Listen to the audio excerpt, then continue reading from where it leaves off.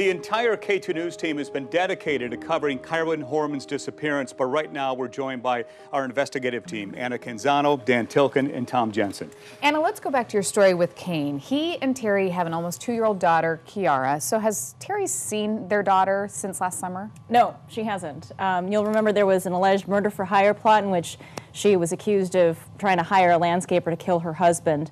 That resulted in the restraining order, which also prohibits her from having contact with Kiara. And Kaine has said that he would be open to having supervised visits between the two, but so far uh, that hasn't happened. That would require a parenting study, which so far she hasn't agreed to do. She's refused. Any sense why at all, Anna?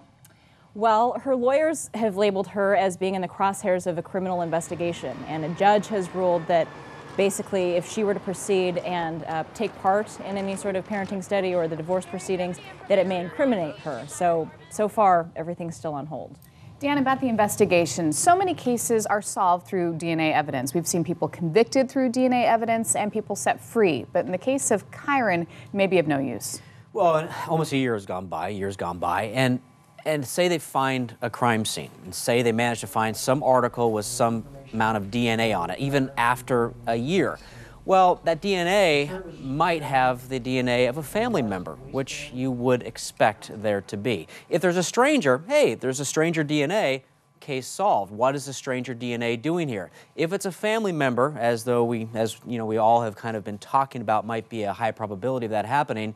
Well, you would expect a family member's DNA to be there, whether it's a father, mother, etc., or a sister, because we all live in the same household. And so, if you find DNA and it's somebody that you would expect to be there, that does not help you one bit. Okay, Tom Jensen, question for you. Uh, Terri in Roseburg. What's she been up to? Does she even have a job? What's going on with her? As far as we know, she does not have a job. Uh, I have found online where she's been looking for work uh, as a teacher. She's been uh, posted her uh, resume online, searching uh, teaching uh, jobs, but people around Roseburg tell me that as far as they know, she's not working. They hardly ever see her leave her home, in fact.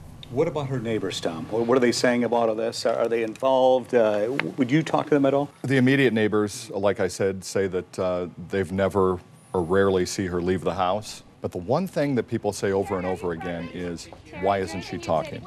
You know, her attorney, after she got an attorney, he probably told her not to talk. But even before she got an attorney, she wasn't talking. She stopped talking to police. And that's the one thing they want to know. Why aren't you talking? Why aren't you helping? All right. Uh, Tom, Anna, and Dan, you guys have put a lot of into this, a lot of work. We appreciate all your fine work in covering this story for us. We want to leave you tonight with images from the Wall of Hope, where people from all around the world have sent messages. They know Kyron Horman's story, and they're hoping for his return. I'm Deborah Knapp. And I'm Steve Dunn. From all of us here at KATU, thank you very much for watching, and good night.